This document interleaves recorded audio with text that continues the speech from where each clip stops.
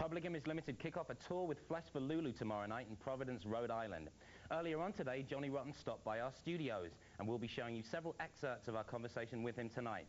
The latest video from PIL is Warrior, and Rotten told us that the song is quite a serious environmental statement. I'm making my case quite clear that this is my land and I'm not going to surrender it easily.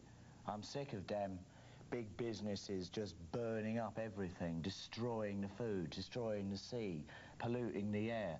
You know, I've got a, a natural birthright to these things. And I'm damned if I'm going to surrender it lightly. Do you support any conservation groups like Greenpeace? Yes, I do. It's a shame that they got this long beard, fair isle sweater image, uh, which I think they should get rid of real quickly. Because uh, that's just not being too commonsensical, is it? You've got to involve all people, all races, all types, not just a few trendy hippies. I think their, their organisation's diversifying, especially in the past couple of years. Yeah. Well, yeah, well, they're spreading their message now to housewives, which is, really, that's where things are going to be achieved. Yes, housewives, that's the new movement. the ultimate terrorist organisation. I think so. A bit Monty Python-ish, but... Well, anyone who's married knows that frying pans. Nora, where are you? Who directed the video for Warrior? Uh, Mike Haggerty. Has he worked with you before? Yeah, he did the artwork with us for Nine. Oh, the artwork for Nine too? Yeah. Did he also do Disappointed then? Yeah. Because it's a very different looking clip. Hmm. He's multi-talented. Indeed, I wouldn't work with anybody who wasn't. And what's your attitude to videos these days? Do you just see I them still as... dislike them. I can't, I'm sorry, I've got no interest in them. The cheaper and the quicker they're made, the better, as far as I'm concerned, because they really are just bad commercials. Just promotional items? Yeah. Uh, the alternative, I suppose, is to just not do one, and then, you know, you might as well be blowing in the winds. Uh, you've got to be heard, and you've got to make your case clear. So they're a necessary tool, but there's no need to overindulge with them. It's... So there's no way of turning them into art? Then? No. It costs too much money.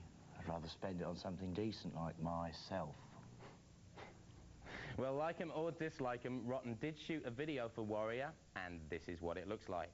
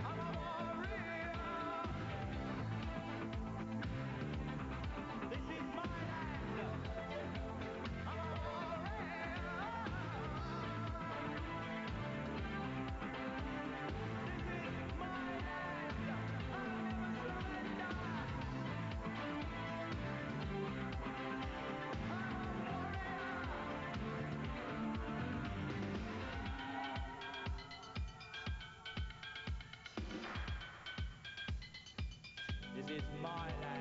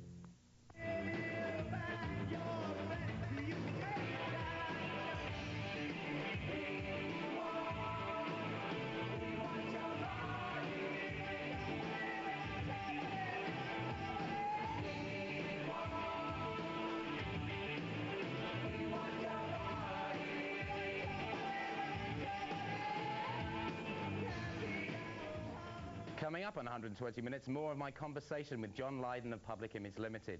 Before that, videos from The Cure and the Stone Roses. First, a brand new clip from The Ocean Blue. Now, like most bands, these guys first made a name for themselves opening up for bigger bands passing through their hometown, in their case, Hershey, Pennsylvania. But they wound up crossing the Ocean Blue to record their debut album in London. The album is called simply The Ocean Blue, and here's the first video. It's entitled Between Something and Nothing. Just think if they played in Alaska, they'd have to call themselves the Ocean Black.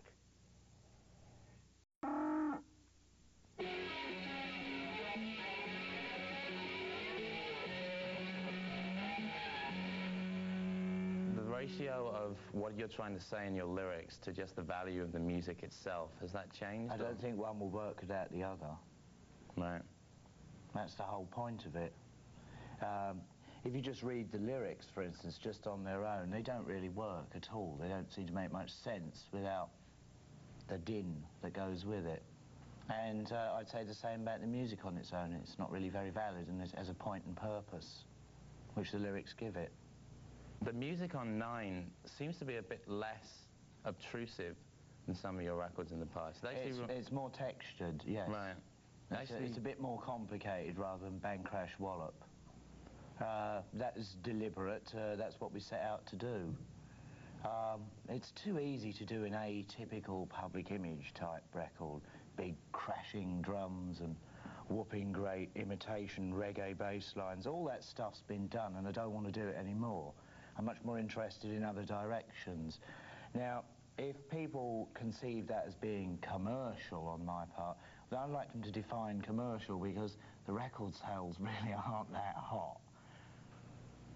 But they are imitated. And I think you'll, you'll find quite a lot of nine-sounding albums out there in the charts next mm. year. All of them, no doubt, hogging the top ten spots. selling 10 times as much as you. Oh, of course. This is the way, isn't it? Very funny. Uh,